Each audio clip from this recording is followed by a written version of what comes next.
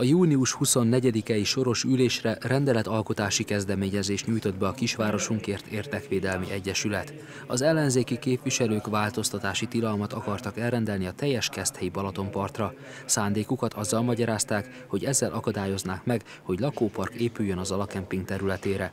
A változtatási tilalmat a Balatonpart újra tervezésének idejére akarták elrendelni. A csütörtöki ülésen Nagy Bálint polgármester azt mondta, ha a kéve javaslatára ezt bevezetik, akkor az összes jelenlegi és jövőbeni Balatonparti beruházás ellehetetlenedik. A kéve képviselői ezt nem így látják. Molnár Tibor szerint a polgármester szándékosan félre értelmezte javaslatukat. A tartalmi álláspontunk az, hogy ezt az előterjesztést, ezt a rendelettervezetet a polgármester úr teljes mértékben félreértelmezte, hogy ez mennyire volt szándékos, nem tudhatom, bár az a kampány, amit ő erre felépített, az arra enged következtetni, hogy ez a félreértelmezés szándékos volt. Idéznem kell egy ide vonatkozó törvényből, ami mindjárt más megvilágításba helyezi ezt a problémát. Molnár Tibor az épített környezet alakításáról és védelméről szóló törvényre hivatkozik. Álláspontjuk szerint ennek értelmében a változtatási tilalom nem terjed ki a polgármester által említett fejlesztésekre.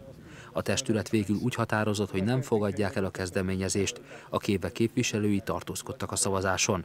Molnár Tibor hozzátette, Nagy Bálint arroganciájában a korai Rogán Antalt, hatalom és szereplési vágyában pedig Kim Jong-un észak-koreai vezetőt idézi. Nagy Bálint polgármester határozottan cáfolja a kéve képviselőinek állítását, ugyanis szerinte az összes közösségi fejlesztést meggátolta volna az ellenzék előterjesztése. Szomorúnak tartja, hogy többszöri kérése ellenére sem vonták vissza kérelmüket az ellenzéki képviselők. Azt lehetett látni, hogy valami zavar keletkezett ott a kévés gépezetben, mert a végén viszont hát egy bátor tartózkodással nem szavazták meg a saját javaslatukat sem, bár visszavonásra sajnos nem került sor.